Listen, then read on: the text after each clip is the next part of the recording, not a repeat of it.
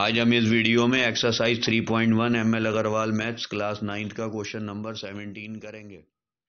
17 है, हमारा first part है, हमारा 2p P plus three Q एक ब्रैकेट में है, दूसरे में है 4p P square minus six P Q plus nine Q square अब यहाँ पर हम फ़र्स्ट पार्ट पहले सॉल्व करेंगे तो इसमें हम लिखेंगे 2p P plus three Q ठीक है?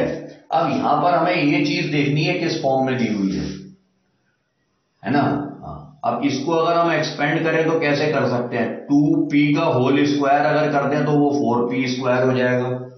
माइनस टू पी एक ब्रैकेट में और एक ब्रैकेट में थ्री क्यू कर दें तो वो टू थ्री या सिक्स पी क्यू हो जाएगा माइनस का।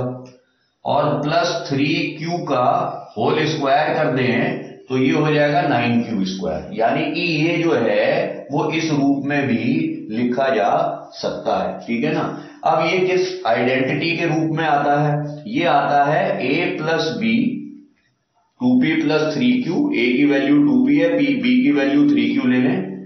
ठीक है? तो ये आ जाएगा ए स्क्वायर टू पी का square minus A into B यानी कि ए बी और प्लस थ्री क्यू का स्क्वायर यानी कि बी का स्क्वायर अब आप इसे पहचाने कि ये ए प्लस बी है और ये है A square minus A B plus B square ये कौन सी आइडेंटिटी होती है? ये होती है A cube plus B cube A cube plus B cube अगर आप एक्सपेंड करेंगे तो ए प्लस बी और A square minus A B plus B square आएगा.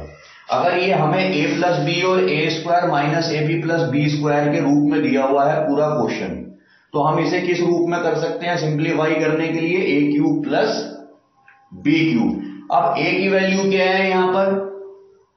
टू पी और बी की वैल्यू यहाँ पर क्या है? थ्री क्यूब ठीक है? अब ए क्यूब बी क्यूब करने के लिए A cube plus B cube करने के लिए क्या करेंगे? टू पी का क्यूब ठीक है? टू पी का क्यूब प्लस थ्री क्यू का क्यूब टू का क्यूब होता है eight P cube plus three का क्यूब होता है ट्वेंटी सेवन क्यू क्यूब ये आंसर इसका आ जाएगा. तो फ़र्स्ट पार्ट कैसे सॉल्व हुआ? कि आइडेंटिटी पहचाननी थी. आइडेंटिटी पहचानते ही जो है वो उसे सॉल्व कर दिया. अभी हमें एक्सपेंडेड फॉर्म दी हुई है. हमें उसको शॉर्ट फॉर्म में करना है. है ना? इससे पहले वाले क्वेश्चंस में हमें शॉर्ट फॉर्म दी हुई थी और हमने उसे एक्सपेंडेड फॉर्म में करना था. तो ये इसका फ़र्स्ट पार्ट पूरा हो गया, अब इसका सेकंड पार्ट करते हैं। सेकंड पार्ट भी इसका ऐसे ही होगा।